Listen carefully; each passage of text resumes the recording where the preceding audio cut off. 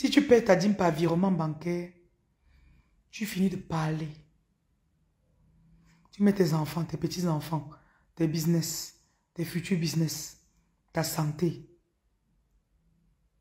l'amour. Et tu dis ce que tu veux. Tu dis ce que tu veux détruire, ce que tu veux construire. N'oubliez pas de construire, de semer le positif.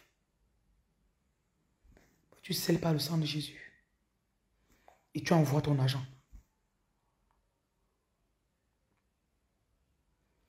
Maintenant, dernier facteur, vous devez tester. La dîme ne se paye pas par force.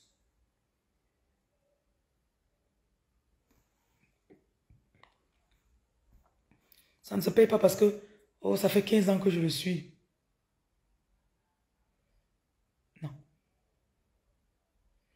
Teste le terrain où tu veux payer ta dîme.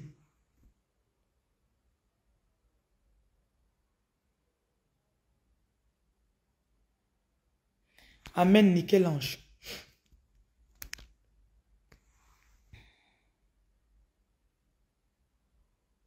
Où est-ce qu'on a ouvert tes yeux?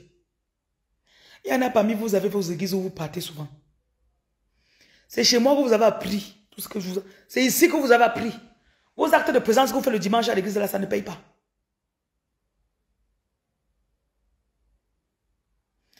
Maintenant, si l'Esprit te dit que paye ta dîme chez la reine Justine, mais tu as peur de ce que ton pasteur va dire, prie, tu demandes à Dieu. Tu peux m'écouter, tu peux donner dans un terrain qui n'est pas fertile. Tu restes là où tu es. Je vous dis cache. Ta dîme se paye là où tu es nourri spirituellement. Il y en a parmi vous, vous ne pouvez pas passer deux jours sans m'écouter. Mais mes poches n'ont jamais vu vos cinq francs.